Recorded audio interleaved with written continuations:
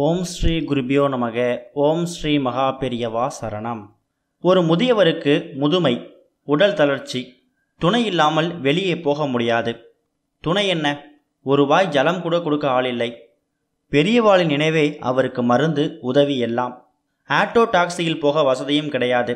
ஆனால் அந்த பரம ஏழையான முதியவருக்கு எப்போதும் மனசு அடித்து கொள்ளும். அவன் வர்றதுக்குள்ள அவளை பார்த்துடணும். எவன் வர்றதுக்குள்ள எவாளை பார்த்துடணும்? காலன் வருவதற்குள் கால காலனான பெரியவாளை பார்த்துவிட வேண்டும். இந்த தாபம் நாளுக்கு நாள் அவர் மனசில் வளர்ந்ததை தவிர அது பகல் கனவாகவே இருந்தது. திடீரென்று ஒரு நாள் அவர் வீட்டு வாசலில் ஏதோ நிழல் ஆடியது. காலனோ அப்பனே நான் இன்னும் உன்னை தரிசனம் பண்ணலையேப்பா. என் ஜன்மா கடை கண்களை கூறாக்கி யார் என்றார். நாங்கள் காஞ்சி ஸ்ரீ மடத்துலேருந்து வரோம் தாத்தா. உங்களை அழைச்சிட்டு வர சொல்லி பெரியவா உத்தரவு. காலநிலை. கால சம்ஹார மூர்த்தியான பெரியவான்னா தூது அனுப்பியிருக்கா அந்த வயோதிகரின் மேனி மட்டுமல்ல உள்ளிருக்கும் ஆத்மாவும் சிலிர்த்தது. நான் எனக்குள்ள பேசினது தவிச்சது பெரியவாளுக்கு தெரியாதா? அப்பா கிருபாலு நான் என்ன பெரிய பண்டிதனா? அக்னிஹோத்திரியா? அமைச்சரா? அரசியல் தலைவரா? எப்போவோ தரிசனம் பண்ணப்போ ஒரு தேங்காயை சமர்ப்பிச்சுட்டு ஒரு நமஸ்காரம் பண்ணப்போ இனிமே அத்தனையும் பெரியவதான்னு மனசில் பிடிச்சுக்கிட்டேன். அவ்வளவுதான். அதுக்கு இத்தனை கிருபையா? கண்களில் ஆறாக பெருகும் கண்ணீரை துடைத்து மாளவில்லை.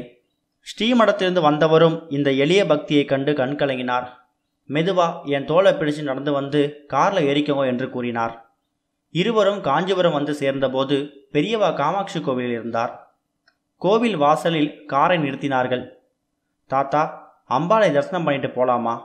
இல்லப்பா முதல்ல பெரியவா தரிசனம் அப்புறமா தான் எல்லாம். இதோ புன்னகையோடு இவருக்காகவே காத்திருக்கும் காஷாய ஜோதி பெரியவா திருமுன் போய் நின்றார். பேச்சே வரவில்லை. கண்ணீர் பெருக்கெடுத்தது.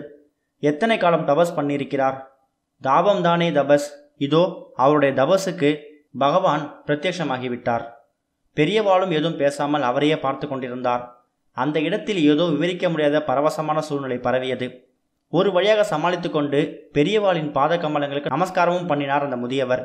அவருடைய உடல் பலமுறை குடுங்கியது. ஐந்து நிமிஷம் ஆயிற்று பத்ம பாதங்களில் விழுந்து நமஸ்கரித்தவர் எழுந்திருக்கவே இல்லை.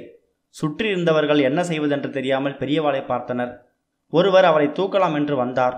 பெரியவா வேண்டாம் என்று சமைச்சை செய்துவிட்டு தன்னுடைய ஒரு காஷாய வஸ்திரத்தை எடுத்து கொடுத்தார். அவர் மேலே போத்திவிடு. அதற்கும் மேலாக பெரியவாளின் பெருங்கருணை ஒரே பெருக்காக பெருகி இவரோட தகன சம்ஸ்காரத்தையும் நீங்களே பண்ணிடுங்கோடா. ஸ்ரீமடத்து பணியாளர்களே அந்த முதியவரின் இறுதிச் சடங்கை பண்ணும்படி ஆனது. முதல்ல பெரியவா அப்புறம்தான் பெரியவாளின் தரிசனம். அவருக்கு அப்புறமாக இனி எதுவுமே இல்லை. எந்த தாயின் கர்ப்பத்திலும் வராதபடி சாஷாத் பெரியவாடமிருந்து இனி பிரியாதபடி கலந்திருக்கும் பரம பாக்கியத்தை கொடுத்து விட்டது. என்ன பாக்கியம்?